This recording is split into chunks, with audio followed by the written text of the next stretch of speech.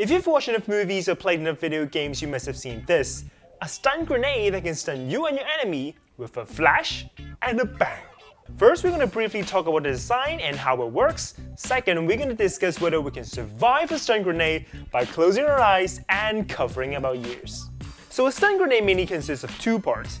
Outside we have the cast steel body with small holes in it. Inside we have the aluminum case with magnesium-based chemicals that will do all the magic. As you remove the safety pin and throw the stun grenade, what happens is the magnesium-based chemicals will undergo chemical reactions to produce light, heat, sound, and smoke.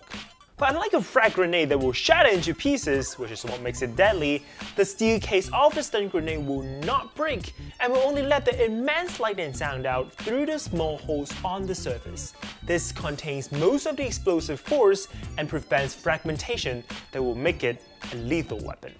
So what the bright light and loud noise do is to temporarily blind and deafen. As the flashbang goes off, the bright light will suddenly activate all the photoreceptor cells in your eyes and cause you to see nothing but bright white for a few seconds. Even when you regain your vision, you can no longer take aim and shoot anymore. That is because the blinding flash will cause you to have an after image that looks like this. If you want to know what it feels like, just flash yourself with a light and then look at the wall. The dim image you continue to see is the after image. Now you may wonder why we can't see such effect in the real life videos. It is always just one flash, and that's it. Well, the answer lies in the difference between the image sensor of our camera and the sensory cells in our eyes. But anyway, now we know what's up with the flash, it is time to talk about the bang, the insanely loud noise that can not only cause temporary hearing loss, but also ear ringing and a loss of balance.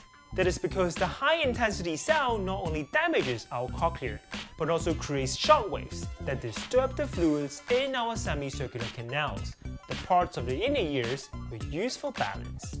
Although covering our ears do help minimize the impact, it doesn't actually help much if we're in an enclosed space because the sound will be trapped inside and cannot be dissipated in the open air.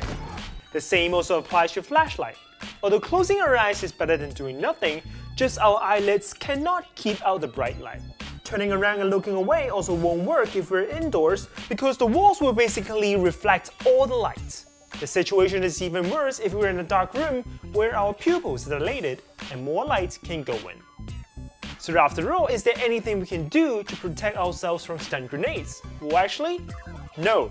If you're indoors, there's basically nothing you can do other than trying to take cover. But if you're outdoors, you may still try to close your eyes, turn away, and cover your ears. They do help a little bit. But it also depends on how close you are to a stun grenade and how skillful is your enemy. Because if they're not well trained,